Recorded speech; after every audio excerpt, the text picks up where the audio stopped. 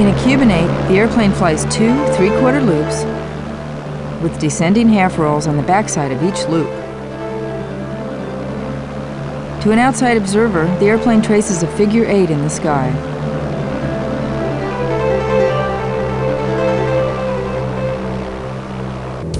Line up with the road. At 140 knots, pull up as if starting the loop. Increase to full power. Look to the left to make sure the wingtip is drawing a circle on the horizon.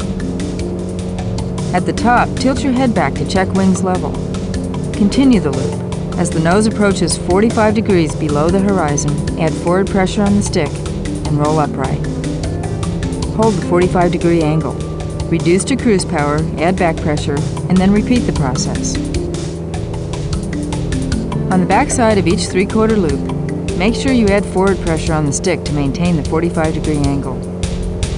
Adjust power as necessary to keep airspeed under control.